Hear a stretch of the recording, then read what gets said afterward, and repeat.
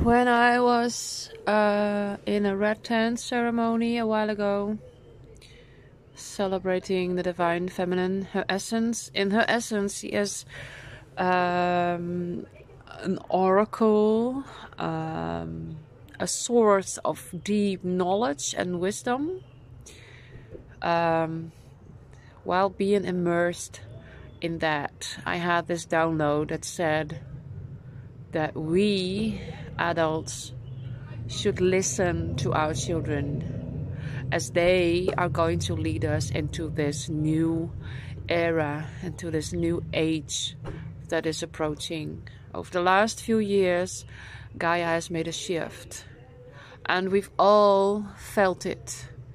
You know, the COVID pandemic was one of the um, parts and one of the ways of creating the shift we were forced to dive deep within ourselves and look honestly at how we are living our lives and what we are doing with our lives.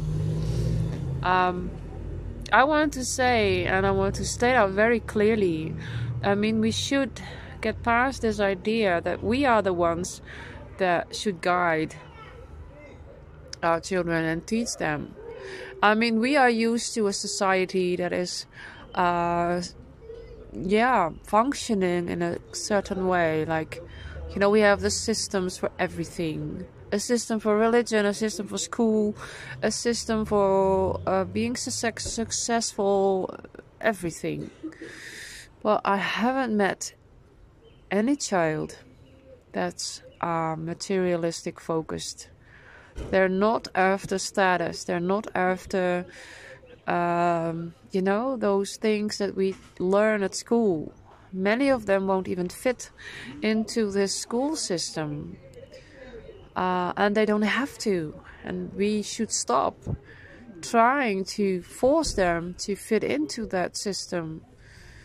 Uh, because, you know, if, if Gaia has made a shift, and if the soul essence, because that's what I'm talking about, the soul essence is what is important. The mysteries of the universe. Um, oh, I know so many children, including my own. I mean, my oldest was born in 1998, and my oldest was born in 2012. When I observe them, and when I, you know, have my responsibility as a mother for them. There's so many times that I'm just taking my time and sit and listen and learn from them. And I'm like, yeah, it's so true. We should listen to our children because they come here with a greater understanding, uh, being so much more conscious of what is really happening and what really matters also. And they have everything uh, with them and also knowledge of what is needed for this new era, this new age. You know? And while speaking about it, I mean, we are part of a society, including that 1% that is trying to control the whole world. That's what we have created. But that society is not the society our children will grow up in and live in, and you know, in their turn, when it's their time, also birth new children and new generations into this world.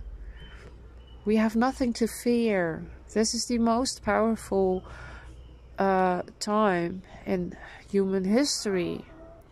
I mean, I've seen knowledge, universal knowledge, uh, that is waiting to be manifested in our natural world, coming from star people, coming from, you know, other planets and other uh, living sources. And our children are open and ready to co work with them. And maybe I'm saying things that you're like, oh, yeah, you're making it up. But no, I'm speaking it into existence. And there will be a time, and there will come a time, that my message will be understood and also get confirmation.